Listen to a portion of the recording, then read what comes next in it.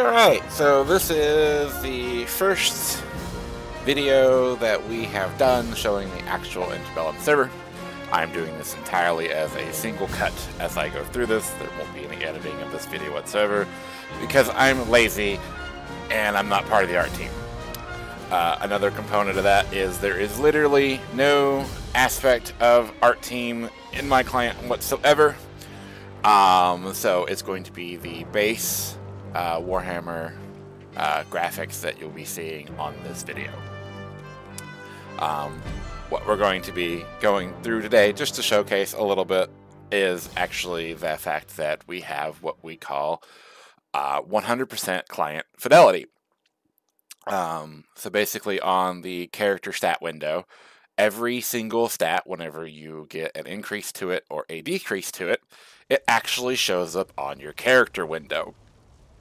Another component of what I'm going to show is I actually have all of these abilities set up for uh, animation testing, and I've already put the animations that work for the Black Orc on the bar here but these also summon buffs that I can showcase that the stats work.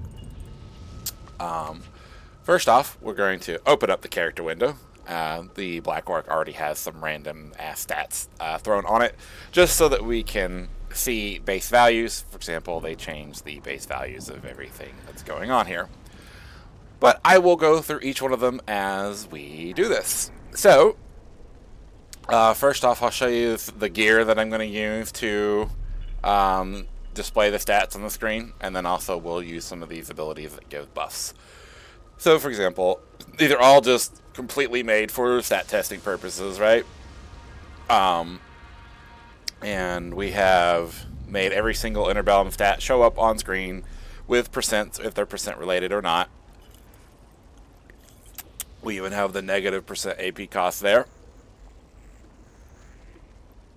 There is a mass that you can you'll never find mass on gear but it is on this piece of gear just to show that it can be changed and remember on Interbellum a lot of these things are actually ratings. For example this is 50 block rating not 50% block. Notice it does not have the percent there.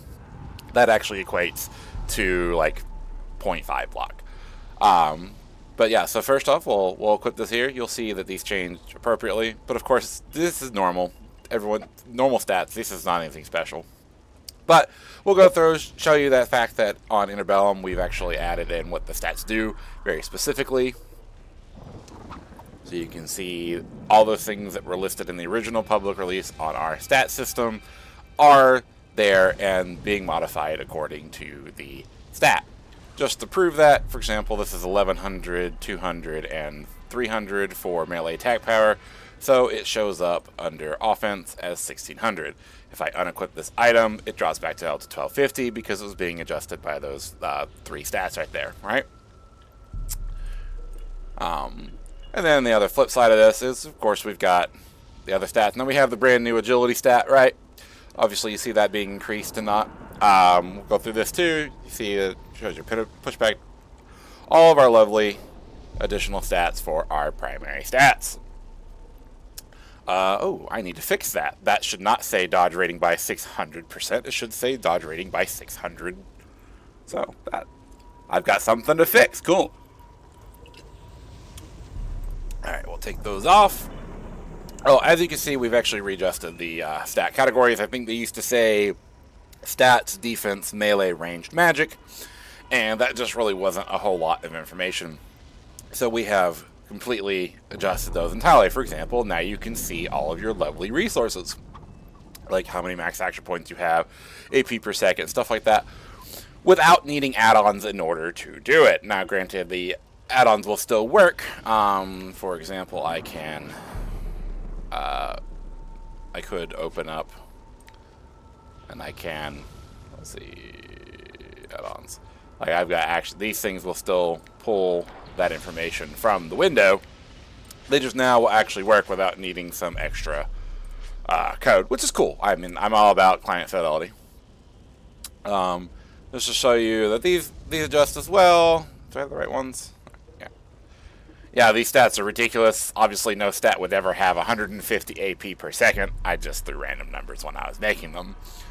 Um, But here you can see wounds increases your health. Now remember, wounds increases your health by four uh, per wounds with a base of 6,000 now. Um, and then percent stats, like outgoing damage, um, list here. If that's 10% here, shows up as 110 because obviously you have a base of 100%, right? Um, I still need to attach a clamp function to adrenaline per second. You're not supposed to get higher than 36, and that should be displaying on the client. So I do have another thing to fix here. I personally have, up until this video, have never thrown 50 adrenaline on any item or anything like that. I'll take those off. All of your offensive stats are attached accordingly. Um, accuracy also has a base of 100, so it lists 100 plus your value. That also means you could have negative values, right? Uh, critical hit rating and critical hit rating is automatically uh, dropped, like uh, on the screen, so you always see your percent chance to crit rather than your critical hit rating itself. Uh, same with potency you always see your your critical hit uh, damage percent here rather than your potency rating.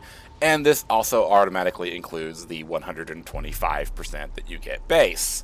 So, for example, when we equip this, you'll see that the values go up by 2 and 1.5 rather than 1 fit, uh, or 2 and 0.5 rather than by 1 and 0.5 rather than by 50 and 100 as those stats are automatically converting those ratings to the percents on your character window. And of course your penetration and sagacity goes up as well.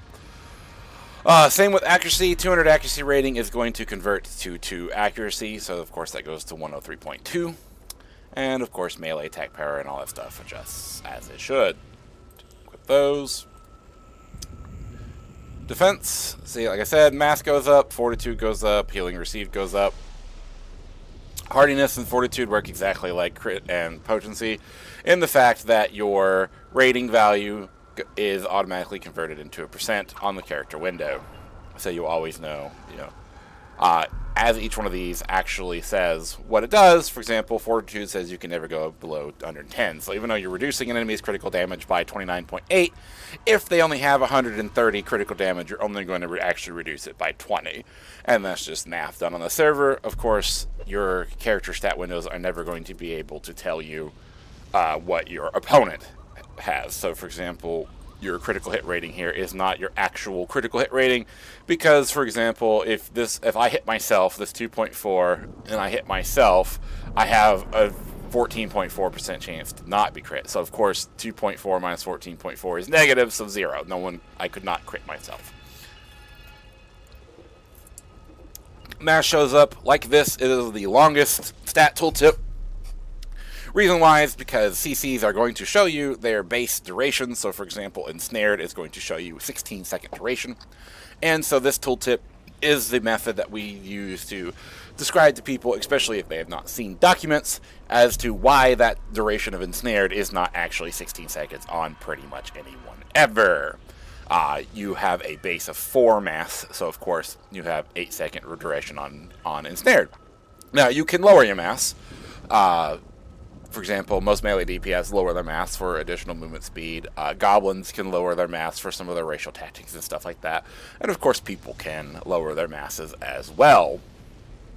Um, so it will just, you know, your mass, your your CCs are based off of your mass versus your target, uh, minus certain things like silences and disarms, which are always and roots, which are always five seconds. Um, just like crit and potency and hardiness and fortitude, block and dodge are ratings which are converted. So of course you get 50.5% uh, block from 50 dodge block rating and 1% dodge from 100 dodge rating. Pushback immunity, however, is a percent, so of course it goes up by that value. And HP4 is a linear value, right? Uh, one thing to note is your HP 4 is multiplied by 5 outside of combat, and that's displayed here. This is how Interbellum will be doing their out of combat healing rather than Mythic's original like 10% every couple seconds when you're out of combat. Ours is based off of your HP 4. You get uh, 120 HP 4 for free if I remember correctly. Take that off. 457.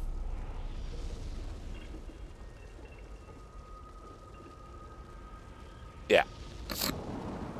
And then the rest of your base, in quotations, uh, HP4 comes from toughness. Uh, HP4 can be found on gear. Uh, good luck seeing 200. That is just a random ass value I threw just to showcase that it was changing. In fact, most of these are basically 50, 10, uh, 100, 150, and 200, unless the stat specifically needed to be lowered so that it would actually work on the screen. For example, 150 pushback immunity would just scale this out at 100, right? Um, last category is resistances, and a good thing to notice here on resistances is that we actually have the direct and indirect damage uh, reductions for all of these. And the reason why is because armor only works against direct damage. It also applies that value to every single resistance. So for example, if you add armor, which I'll do right here by adding armor via this buff, you'll notice that the direct damage goes higher than the indirect damage for every single one of our stats. Also, uh, we have what we call um, diminishing returns. So for example, Actually, we'll take that off. So like this is 3.84, right? So once I add 300 armor, which would be 400, notice that it does not increase by four times. It almost does. But if you, like for example, we add this several times, you'll see that the amount that you get every time you go up by additional more armor lowers in terms of how much you actually receive out of it. Um, so this means that once you start getting above 50% damage mitigation, it becomes very difficult to get closer to um, 75%. Um, and what this does is it allows, uh, it makes, it makes block more valuable uh, when you have lower resistances, and it makes it less valuable when you have higher resistances and it also means that, uh, for example, like if you if you block and your enemy is penetrating you through the you know penetration and sagacity, then if you have decently high armor resistance values and you block because you reducing your resistance doesn't mean a whole lot when you have a fuckload of it, right? That means that you won't get penetrated as much, which means that tanks that actually have high armor slash resistances and high block won't, when they block, they're not going to be getting pen, uh, penalized too much from those those slightly higher values of sagacity and uh, penetration that you can obtain versus uh, resistances. Um, and that's just another way. Uh, your incoming damage stat is negative on gear. reason why is because it, and of course it doesn't. I have to fix that as well. Uh, this should actually reduce and take this to 80. Um, this, we got a couple bugs related here. Just from, uh, we got a new build literally this morning, and there is a handful of things that I need to readjust. But yeah, uh, this would normally turn that into 80 so you would take 80% of all incoming damage. But yeah, that is the stat windows. Uh, as I showed, like for here, for example, this increases armor, and it stacks. This is part of our stat stage buff system, for example, right? And you notice that each time it increases. All of these increase something. It might take me a second to remember what they do. Let's see, 81 is hardiness. One needs to be this. That's a negative stat. Yeah, notice that hardiness increases as I use this. And then, let's see, what's this one? Range attack power. And you get more range attack power as you go. This is probably melee attack power. This is a debuff for melee attack power, so I can lower it. Right? And that is, we basically have that for every single stat stage. They're all enhanced or reduced, and they all say buff and debuff. They all show up on your fucking buff bar and your target's buff bar. Unlike uh, other projects, and also unlike Mythic, Mythic did not have this uh, in a large number of things. They hid a lot of their buffs uh, or they just straight up did not bother actually assigning the correct stuff in the client. Uh, now we'll go into animations. Um, these are all the animations that work for one for uh, orcs uh, with melee weapons. Uh, there's a couple in here that work for a range weapon, which is kind of why this one's separated right here. Uh, just to showcase that there are ranged animations for uh, Greenskin, I set this aside to show you that they can actually still fire bows. Uh, there is no projectile on this skill, uh, so it won't actually show an arrow flying out. And also, all these skills technically are targeting the orc, because obviously I'm not hitting anybody, anybody around here. Uh, yeah, so there are a lot more animations that were originally used in the than what are used in most things uh,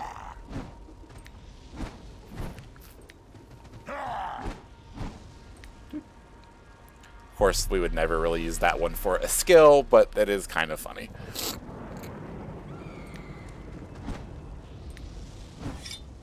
And you can expect to see these used.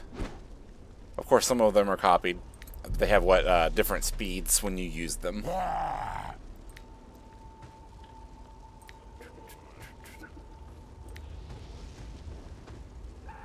All of these test abilities are basically just Frankenstein from mob abilities, so it's saying uh, invalid target. And that's because most of them say target an enemy, and I made them target myself in the server. Just for a matter of letting my lore masters and art department actually be able to play with the animations without me having to go through and make them individually for every single fucking class. They just get to select those kinds of things.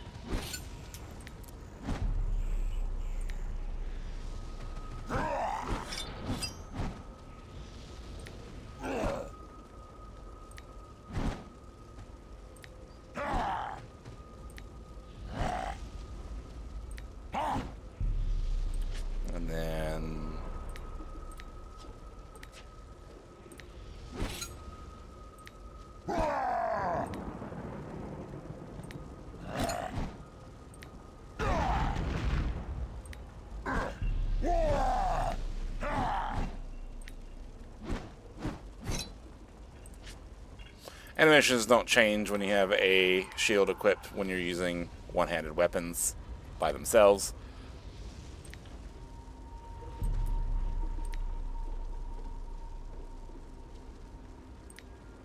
Oh, did I break it? Okay. Oh, these just don't have one-hand animation. Okay.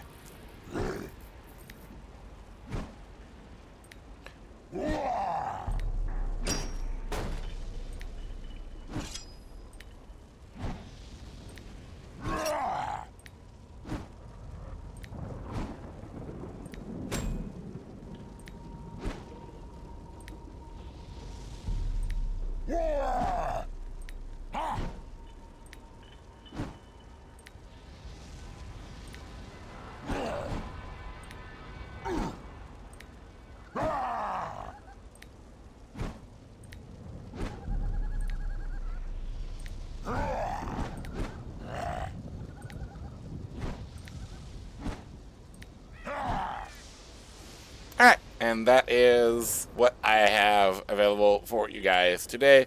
We will be doing some more video uh, public releases as we as I'm allowed to for certain things.